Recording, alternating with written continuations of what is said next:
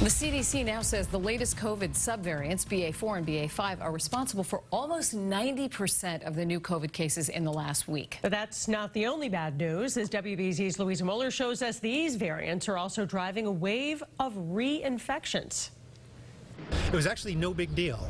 After a glancing blow from COVID in May, Don Seifert decided it was time for fun.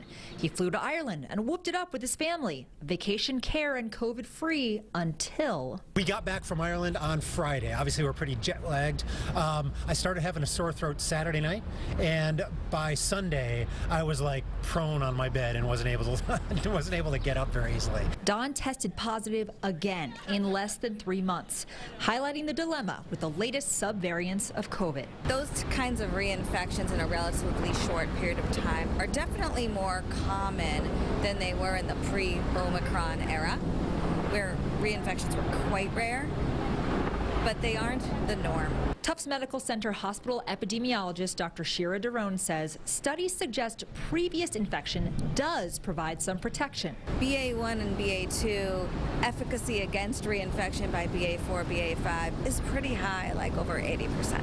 It's tough to tell how long COVID immunity lasts and how many people are being reinfected.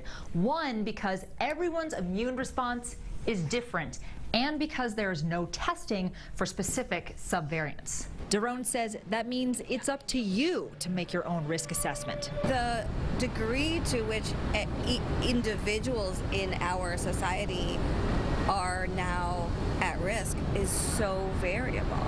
Ask Don, he says he'd do Ireland again, but maybe this time in a mask. Would have saved us a whole lot of the headache um, and any any lingering symptoms. Even though it's you know it still wasn't terrible for me.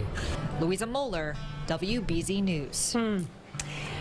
That's the frustrating part. We all kind of got used to one way of thinking, and now with these subvariants, you just have to readjust and reassess your risk. Right, and know that if you just had it, you may not have 90 days of immunity. Right. Have